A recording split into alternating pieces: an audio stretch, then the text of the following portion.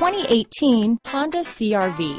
CRV, a top recommended vehicle because of its car-like driving manners, good value, cool technology, and comfy interior. This beauty is sure to make you the talk of the neighborhood, so call or drop in for a test drive today.